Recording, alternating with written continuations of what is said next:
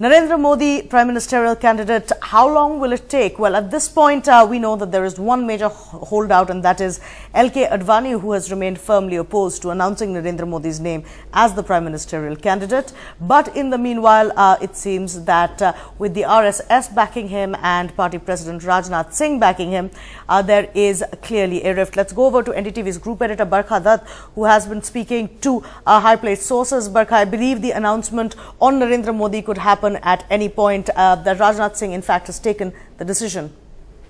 Kajori, we can give you the breaking news that despite those objections put on the table by LK Advani, the announcement of Narendra Modi as Prime Ministerial candidate could come within the next 24 hours. In fact, it could come even earlier than that. BJP sources are confirming to me that the announcement could either be made today or tomorrow. Uh, when I asked uh, these highly placed BJP sources what they would do with LK Advani, uh, sources are now indicating that despite Advani's protest, just like uh, the elevation of Narendra Modi at the Goa conclave when he was made head of the uh, BJP's poll panel, in a similar way, these party leaders believe that LK Advani is not in sync with the mood of the cadres. These party leaders are arguing that there would be a revolt in uh, the party cadres if the announcement were not made soon. Remember, LK Advani and others like Sushma Swaraj and Murli Manohar Joshi had argued that the announcement of Modi as the prime ministerial candidate should be postponed till after the assembly elections.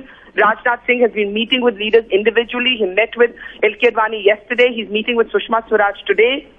But at the moment, BJP leaders saying to us that Rajnath Singh has made up his mind, that there is no space for these protests, that even if Narendra Modi is a gamble that the party is taking, as LK Advani argued uh, with Rajnath Singh, there, this, this is the main card, according to the BJP strategists, in their hands right now. And they are indicating to us that within the next 24 hours, maybe even earlier, Narendra Modi will be named as the prime ministerial candidate of the BJP. This is the big breaking news coming in at this moment. The protests of LK Advani and other naysayers in the party who are opposed uh, to Narendra Modi uh, coming in now, uh, uh not being disregarded. The protests are well known, although LK Advani has been the public face of those uh, objections. The anti-Modi camp is identified as uh, being led by LK Advani and being backed by other senior leaders like Sushma Swaraj, uh, Murli Manohar Joshi, and Nitin Gadkari. But uh, we are confirming at this point that Rajnath Singh has made up his mind. This announcement expected any moment now.